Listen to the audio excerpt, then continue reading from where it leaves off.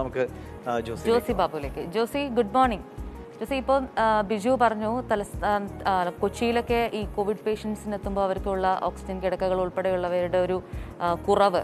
അത്തരം സാഹചര്യങ്ങൾ ഈ നിയന്ത്രണങ്ങൾക്കൊപ്പം തന്നെ അത്തരം സാഹചര്യങ്ങൾ തലസ്ഥാന നഗരി എന്തെങ്കിലും തരത്തിൽ ബാധിക്കുന്നുണ്ടോ? എന്തൊക്കെയാണ് അവിടെ നിന്നുള്ള വിശദാംശം?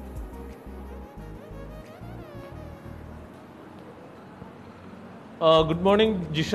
കോവിഡ് വ്യാപനം തലസ്ഥാന ജില്ലയെയും കാര്യമായി തന്നെ വ്യാ ബാധിച്ചിട്ടുണ്ട്. ഞാനിപ്പോൾ നിൽക്കുന്നത് പാളയത്താണ്. ഏറ്റവും തിരക്കുള്ള സ്ഥലമാണ് പാളയം. പതിവ് പോലെ തന്നെ പോലീസ് പരിശോധന ഇന്നും അതിരാവിലെ മുതൽ തന്നെ ആരംഭിച്ചിരിക്കുന്നു. ദൃശ്യങ്ങളിൽ കാണുന്നത് പോലെ ചെറിയ വാഹനങ്ങളും ഓട്ടോറിക്ഷകളും അടക്കം പോലീസ് പരിശോധിക്കുന്നുണ്ട്. അടിയന്തര ആവശ്യങ്ങൾക്കല്ലാതെ പുറത്തിറക്കുന്നവർക്ക് പിഴയിടുവാൻ പോലീസ് മടി കാണിക്കുന്നില്ല. അല്ലാത്ത ആളുകൾക്ക് കർശനമായ വാണിംഗ് നൽകിയാണ് മടക്കി അയക്കുന്നത്.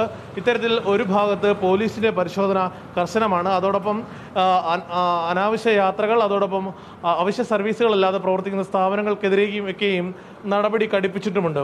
അതിനിടെയാണ് ഇപ്പോൾ ജിഷ നേരത്തെ സൂചിപ്പിച്ചതുപോലെ ജില്ലയിൽ കോവിഡ് പ്രതിരോധ പ്രവർത്തനങ്ങളുമായി ബന്ധപ്പെട്ടുകൊണ്ടുള്ള മറ്റ് പ്രവർത്തനങ്ങൾ ജില്ലാ ഭരണകൂടത്തിന്റെ ഭാഗത്തു നിന്നും ഉണ്ടായിട്ടുണ്ട്. ജനറൽ ആശുപത്രി പൂർണമായും കോവിഡ് ആശുപത്രിയായി മാറ്റിയിട്ടുണ്ട്. ഈ കോവിഡ് വ്യാപനം കണക്കിലെടുത്ത് മറ്റ് ഒ പി സംവിധാനങ്ങളും ചികിത്സാ സംവിധാനങ്ങളും ഒക്കെയും ജനറൽ ആശുപത്രിയിൽ നിന്നും മാറ്റിയിട്ടുണ്ട്. അതുപോലെ ഒരു ഓക്സിജൻ വാർ റൂമും തുടങ്ങിയിട്ടുണ്ട്.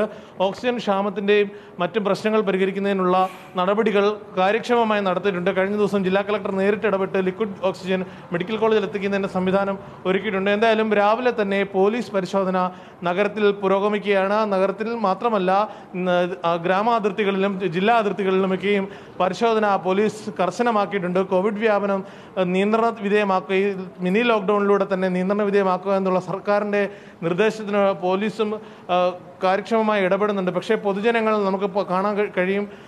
അനാവശ്യ യാത്രകൾ നടത്തുന്നുണ്ട്. അനാ അകാരണമായി പുറത്തിറങ്ങുന്നവരുണ്ട്. അങ്ങനെ ഉള്ളവർ ഈ രോഗവ്യാപനത്തിന് കാരണമാകുന്നു എന്നുള്ളൊരു കാര്യം എടുത്തു പറയേണ്ടതുണ്ട്. എന്തായാലും രാവിലെ തന്നെ തലസ്ഥാനത്ത് പോലീസ് പരിശോധന വ്യാപകമാക്കിയിട്ടുണ്ട്. കോവിഡ് പ്രതിരോധ പ്രവർത്തനങ്ങളുമായി ജില്ലാ ഭരണകൂടം കാര്യക്ഷമമായി ഇടപെടുകയും ചെയ്യുന്നുണ്ട്. ജിഷ.